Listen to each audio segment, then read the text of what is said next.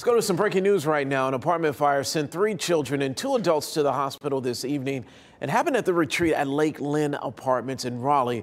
WRAL's Carly Haynes is live there now. Carly, how bad was the damage?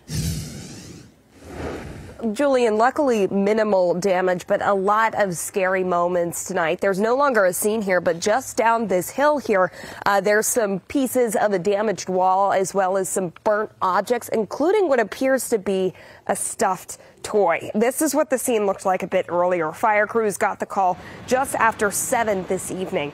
We spoke with a person who lives in the complex who said first responders got here fast and left relatively quick said it was chaotic in the moment because the family that lived in the unit was worried about their cats.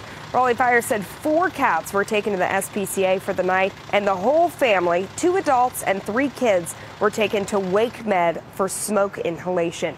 Fire crews are still investigating the cause, and as far as we know, there aren't any other units in this apartment complex that were displaced. Julian. All right, Raleigh, keeping us informed. Thank you so much.